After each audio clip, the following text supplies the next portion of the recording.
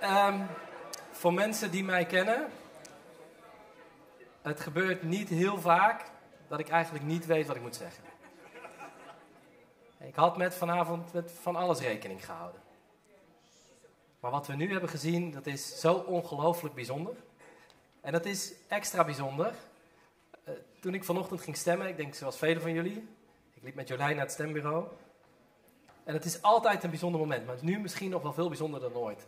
Omdat je weet dat mensen niet zo heel ver hier vandaan vechten voor hun leven en voor hun vrijheid. En om datgene wat wij vandaag mochten doen. Kiezen in vrijheid.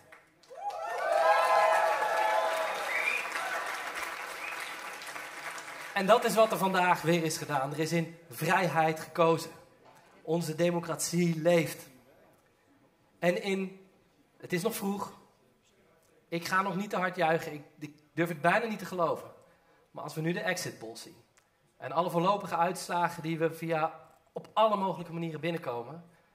Dan durf ik wel te stellen dat Nederland in op ongelooflijk veel plaatsen voor een menselijke, een eerlijke en een duurzame toekomst hebben gekozen. Voor GroenLinks hebben gekozen.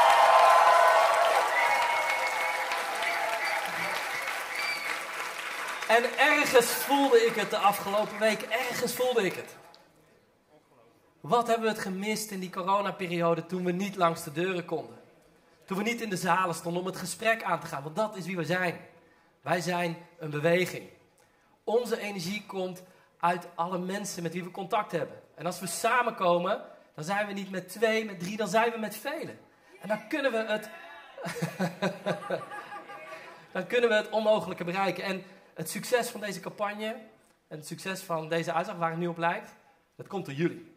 En dat komt door al die mensen in het land. Niet alleen van wat er de afgelopen weken is gebeurd, maar hoe fantastisch de afgelopen jaren jullie die steden hebben bestuurd. Ik ben trots op jullie. Ongelooflijk trots op jullie. En tot slot, tot slot, want jullie willen drinken en verjuichen en feesten en dat moet. Het is het feest van de democratie. Maar staan we toen nog één ding te zeggen. Voor al die rechtse politici in Nederland die dachten na vorig jaar, we zijn van ze af. Ik dacht het niet. Vandaag zetten wij een belangrijke stap, een hele belangrijke stap, op weg naar herstel. Beter dan we ons konden voorstellen. And you ain't seen nothing yet.